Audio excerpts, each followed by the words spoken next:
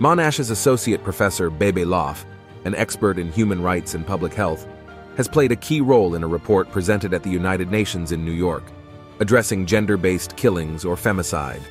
The report places responsibility on governments for the failure to protect women and girls targeted due to their gender and urges compliance with obligations to investigate and eradicate femicide.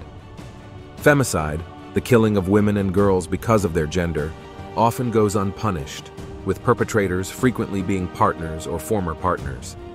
The report also calls for protections for individuals whose gender expression or identity is female and highlights the duty to investigate potentially unlawful deaths as a customary international law.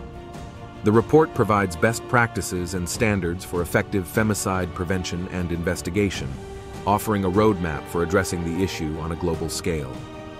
If you enjoyed this video, please give it a thumbs up and subscribe to my channel for more great content.